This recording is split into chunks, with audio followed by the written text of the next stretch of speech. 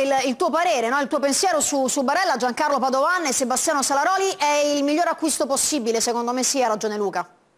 Per me sì, eh, ha ragione Luca, stravedo per Barella, dovrebbe avere eh, solo due attenzioni, protestare meno e entrare con un, un po' meno vigoria che ogni tanto perde, eh, rimedia troppe ammonizioni per conto mio e anche qualche espulsione di troppo, però è un giocatore importantissimo, uno dei migliori mm, talenti non solo in prospettiva ma già pronti per il, per, per il calcio italiano ad alto livello. Eh, è un nazionale secondo me ormai conclamato nel senso che Mancini non se ne priverà mai, eh, se non per scadimenti di forma inipotizzabili in questo momento certo. e siccome mi piace fare il polemico vorrei chiedere al signore di prima nostro telespettatore, sì. se Barella vale 30 milioni. No, ne vale di più e l'Inter lo prenderà a più soldi perché, ripetiamo, non per voler aver ragione, qui nessuno ha torto e nessuno ha ragione. Purtroppo il mercato lo possiamo definire pazzo, lo possiamo definire eccessivo, lo possiamo definire illogico, lo possiamo definire poco congruo con il valore reale dei giocatori, ma questo dice e, e, e, e, ripeto, Barella è un giocatore che sicuramente vale anche più di Sensi perché questo, ha dimostrato anche di più, ma verrà acquistato per cifre del genere. Sebastiano. Sì, è in assoluto il miglior eh, acquisto che si potrebbe fare in quel ruolo Ma oggi. poi scusami Sebastiano, eh, stavo pensando, no? È il classico giocatore che servirebbe a tutte le squadre. Cioè un Barella adesso serve a tutti. Ma i giocatori... Adesso all'Inter, al Milan, alla Roma, al Napoli. I giocatori forti servono sempre a tutte le squadre e, certo. e Barella è un giocatore forte.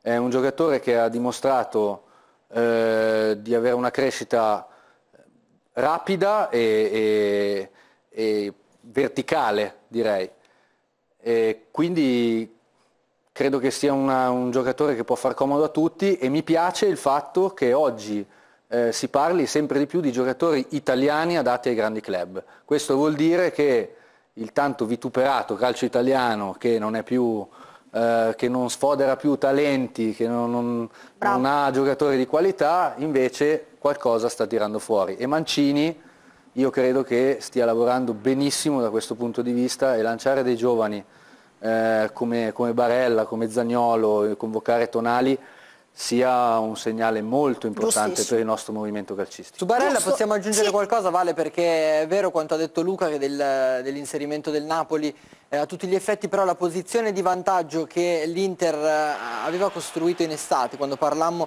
di un blitz eh, monegasco di Piero Ausilio a casa del, del procuratore di di Barella, Alessandro Beltrami, eh, a margine dell'operazione Nainggolan, che comunque è assistito dallo stesso procuratore, diciamo che il margine che l'Inter ha acquisito in quella circostanza, nel corso di quelle trattative, non è ancora stato colmato dall'offensiva del Napoli delle ultime ore. Peraltro il Cagliari non ha la minima intenzione di cedere Barella nel corso di questa finestra di mercato no, eh, no, e certo, preferirebbe, e preferirebbe non uh, concludere nemmeno la trattativa ora in vista di giugno, non fare un'operazione alla Pulisic per intenderci eh, certo. cedendo il giocatore e tenendoselo in prestito fino al termine del campionato, ma vorrebbe trattarne eh, il, il, valore di cartellino proprio in, in, estate. Per il momento Inter è ancora in vantaggio anche se eh, l'offensiva del Napoli c'è stata nelle ultime ore ed è molto concreta. Apriamo invece la parentesi dedicata all'Inter come promesso a proposito di talenti, non abbiamo parlato di talenti francesi ma anche sudamericani con Almendra argentino, ci sono talenti brasiliani che interessano all'Inter perché l'Inter ha una politica precisa, quella di ringiovanire la rosa. Sì, soprattutto ha la politica di investire sui giovani per, per, cercare di valorizzarli poi nerazzurro. Abbiamo fatto alcuni nomi, per esempio quello di Chouameni che è un giocatore che l'Inter segue da vicino. Come abbiamo detto dal Brasile invece un nome interessante è quello del portiere Brasao per il quale l'Inter potrebbe costruire una sinergia con un club italiano eh, che già ha portato buoni frutti in passato e potrebbe quindi appoggiarlo per i prossimi sei mesi per farlo adattare un po' alla, alla realtà calcistica di, di, casa nostra, per esempio al Chievo. Uh, piacciono anche due giocatori del Flamengo come Lincoln e Reiner che sono stati trattati dall'Inter nell'ambito di un'operazione che potrebbe eh, consentire a Gabigol di trovare una nuova squadra perché non dimentichiamo che Gabigol è un giocatore che eh, tornerà ad essere a tutti gli effetti dell'Inter dopo il prestito al Santos. È un discorso diverso rispetto a quello sì. di Caramò per il quale invece l'Inter non ha alcuna intenzione di ascoltare nessun tipo di offerta nel corso di questa sessione di mercato crede nel giocatore ed evidentemente eh, deciderà poi cosa, cosa, cosa farne del, del, suo destino nel corso della sessione estiva del calciomercato, per questo motivo non si è parlato di lui, di questo profilo nell'ambito dell'affare Chouamini. Perfetto Giancarlo, eh, tra l'altro Brasao, portiere del Cruzeiro, Lincoln attaccante del Flamengo, parliamo di millennials, quindi giocatori eh, targati, griffati eh, 2000, se ne parla molto bene, sono stati protagonisti del mondiale under, under 17, eh, per Brasao ne parlavamo prima anche fuori onda con Sebastiano Salaroli, no? quasi si prospetta un futuro alla Giulio Cesar, poi lasciamo stare le etichette come abbiamo fatto per Almendra Richelme. Tutti ne parlano bene, tutti dicono che sia un portiere molto valido, non a caso ci ha messo gli occhi l'Inter, ho sentito che potrebbe transitare dal Chievo, dati i rapporti che l'Inter ha con il Chievo, in questo senso ripercorrebbe solo in questo senso, poi vediamo anche se le qualità sono le stesse o addirittura certo, superiori, certo. ripercorrerebbe, certo. la, ripercorrerebbe la strada che ha fatto Giulio Cesar. Eh, non so, non, mi, mi piace parlare di, di chi conosco e questo giocatore, questo portiere non lo conosco e poi forse non ho neanche sinceramente gli strumenti adatti per uh, giudicarlo eh, perché bisogna essere secondo me degli specialisti per giudicare i portieri. Eh, in ogni caso eh, il fatto che sia un millennials è importante, il fatto che ci sia una squadra italiana su di lui è significativo, eh, io credo che lo aspetto se arriverà con molta curiosità. Possibile in uscita? Direi più che possibile, perché il giocatore non, non sta trovando spazio, vorrebbe più spazio, eh, è un difensore eh, comunque sia che ha fatto grandi cose eh, con l'Atletico Madrid, con la stessa nazionale brasiliana, parliamo di Joao, Miranda, a proposito di sudamericani, a proposito di, di difensori, in questo caso che non sono tra virgolette felici no? nel club in cui, in cui militano.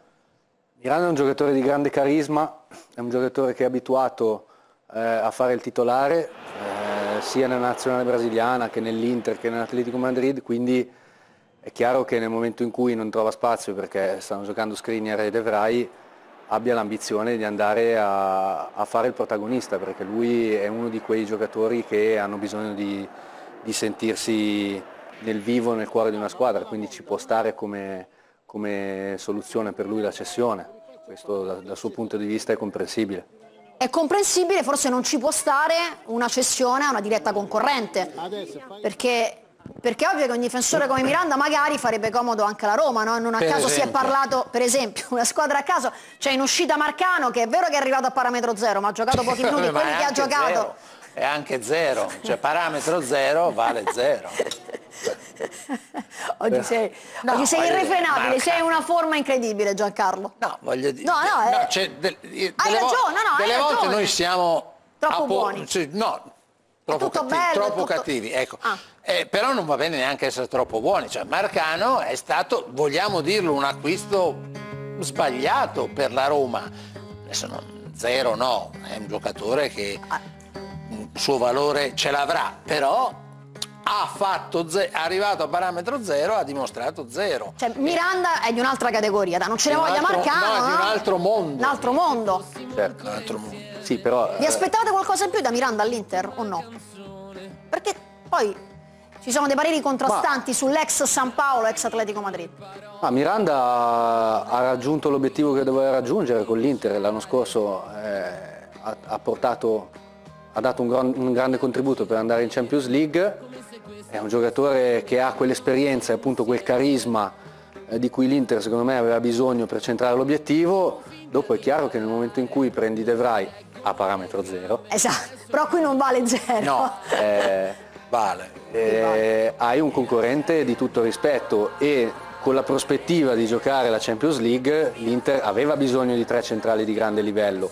Nel momento in cui esci dalla Champions League e, fai comunque l'Europa League che però richiede sicuramente meno sforzo eh, mentale, eh, allora potresti permetterti di privartene, anche se io credo che sia più una, una volontà del giocatore piuttosto che dell'Inter, perché comunque avere un giocatore come Miranda eh, fa sempre comodo, soprattutto se è un'alternativa, come è in questo momento. eh, anche se le sue partite le ha anche giocate quest'anno. No, Spalletti non è che non lo, non lo veda. Appunto, eh? Quindi voglio dire, mh, mm, mi farebbe specie che l'Inter se ne privasse senza eh, prendere un giocatore di pari livello. Le grandi squadre devono avere eh, più di 11 titolari, quindi a meno che non ci sia una, una spinta forte dal giocatore, io credo che l'Inter non abbia intenzione di privarsene.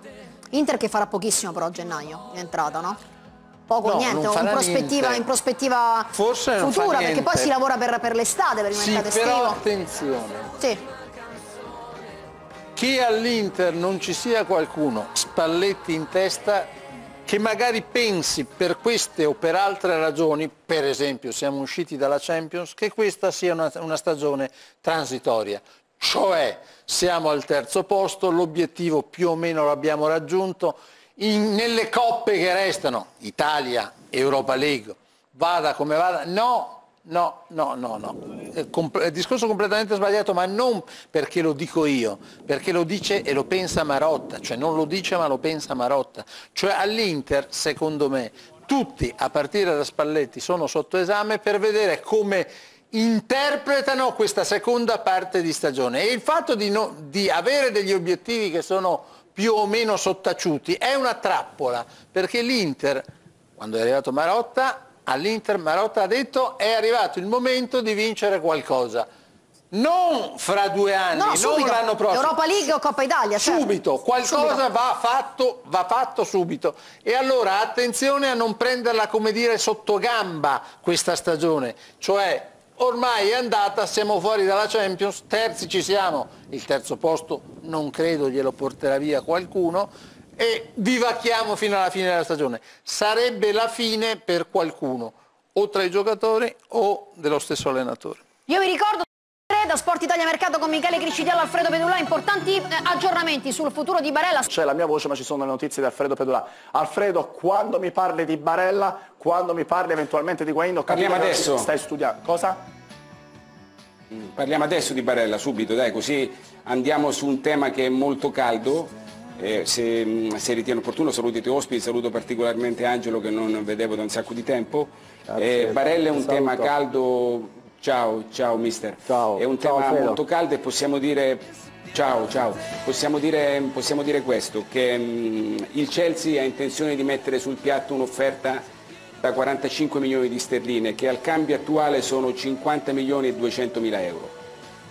Giulini chiedeva e ha sempre chiesto 50, abbiamo parlato nei giorni scorsi di una proposta del, mm, del Napoli 20 milioni più un asse roghi, cartellini per intero, non prestiti con diritti di riscatto ma soltanto con il quindi una valutazione che considerate le contropartite tecniche va a toccare i 50 milioni di euro, però Barella sul Napoli non è convinto, vuole pensarci, sono situazioni pregresse, quindi malgrado i tentativi del Napoli in questo momento Barella sta pensando ad altro. Ed è, ed è uscito, um, l'irruzione del Chelsea è stata in giornata importante con dei contatti, loro vogliono fare il mercato a gennaio per luglio, non a caso hanno preso Pulisic dal Borussia Dortmund e hanno aggiunto adesso questa offerta da 45 milioni di sterline ed è rimasta soltanto l'Inter. L'Inter è in vantaggio potenzialmente, parleremo di Inter più avanti, è in vantaggio potenzialmente alla scorsa estate però non ha la disponibilità per chiudere una cosa adesso, l'Inter può fare dei parametri zero, può concentrarsi su altre situazioni ehm, e il Chelsea ne ha approfittato perché per Sarri Barella è il centrocampista perfetto da Premier.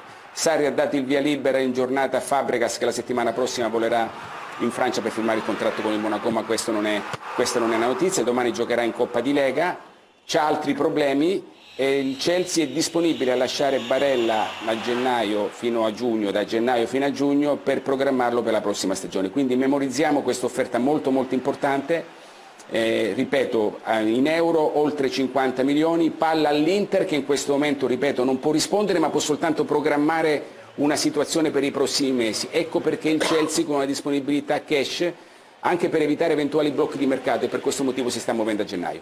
Scarpeni su Barella, attenzione perché la notizia che ti ha dato Petullà ti potrebbe preoccupare non poco. Beh, ma eh, la realtà è che eh, i club della Premier, eh, Bayern Monaco, Paris Saint Germain, Reale Barcellona eh, ragionano e si muovono con delle logiche completamente differenti a quelle che possono applicare i club italiani, Juventus a parte. Perché la Juventus ormai si muove a livello di questi club. Quindi c'è un giocatore, non conta tanto il prezzo, conta il progetto tecnico e se interessa hanno liquidità, hanno forza economica, eccetera, eccetera.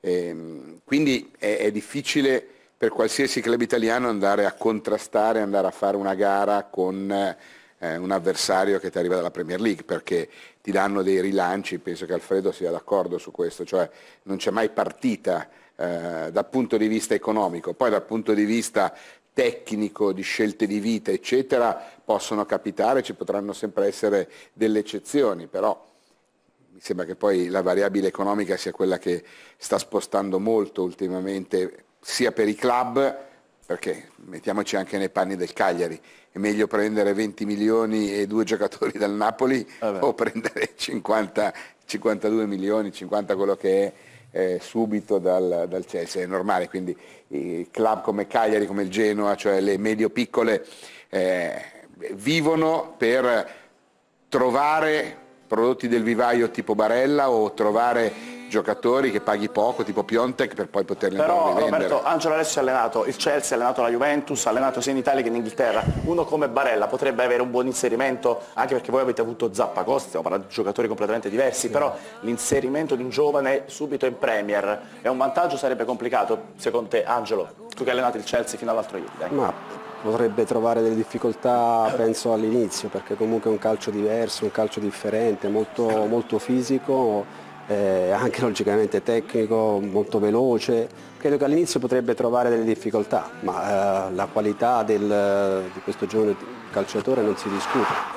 E poi sarà Sarri nel caso a plasmare e preparare al meglio questo giocatore per questo palcoscenico molto importante, molto importante per la sua carriera. Di Godin cosa mi dici invece? A di Godin l'Inter, ehm, come, come era stato raccontato nei giorni scorsi, c'erano stati, io non cito mai altre fonti, però c'era stato un titolo importante del Corriere dello Sport, Godin, priorità dell'Inter, è un'opzione molto concreta col fatto che lui non rinnoverà con l'Atletico, ci aveva pensato la Juve l'estate scorsa e adesso l'Inter è nelle opportunità a parametro zero, un'altra opportunità Herrera, perché noi l'anno scorso novembre avevamo parlato di quell'Inter, può fare, ecco perché quando noi parliamo di Barella eh, parliamo di disponibilità di un club e di necessità dell'Inter di chiudere definitivamente il discorso fair play finanziario. Godin ed Andersen, visto che Miranda vuole andare via, sono i due nomi che per l'Inter diventano priorità. Ed è, chiaro, ed è chiaro che dopo De Vrij, dopo Asamoa, i rumor sono confermati da un'offerta che può andare addirittura d'arrivo, perché lui ha deciso di rinnovare con l'Atletico e ha deciso di fare un'altra esperienza possibilmente in Italia. La, la Juve l'aveva seguito, poi l'ha mollato, l'Inter si è specializzato in questi colpi, quindi è una, storia, è una strada abbastanza ben spianata. Sarebbe un buon acquisto, ovviamente, e eventualmente, secondo mister Mambrini, Godin? Eh, Godin è un giocatore d'esperienza negli ultimi anni Atletico Madrid, è un giocatore centrale importante e, e penso che, che una squadra come l'Inter, che ha fatto già un ottimo calciomercato all'inizio, però mancano quei due o tre giocatori all'Inter per, per completare, per fare quel salto di qualità. E quindi io lo vedo io lo vedo bene in una squadra come l'Inter. Alfredo, su Barella non abbiamo nient'altro da aggiungere?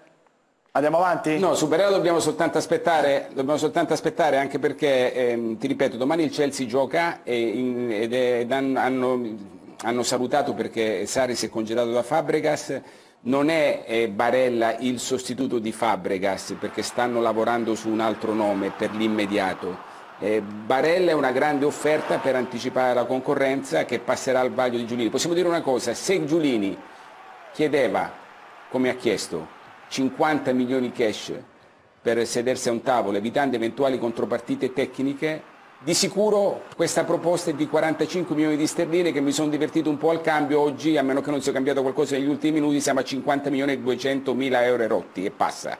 Quindi l'offerta c'è ed è una traccia che dobbiamo seguire. Vediamo quale sarà la decisione del Cagliari, quale sarà la reazione dell'Inter che ha un grande rapporto con il Cagliari e questo lo dobbiamo sicuramente mettere in preventivo, però poi alla fine cosa c'è? Eh, carta canta, il cash, l'offerta e magari l'Inter dirà al Cagliari aspettami un minuto perché quei soldi te li posso garantire, di sicuro è un'offerta faraonica.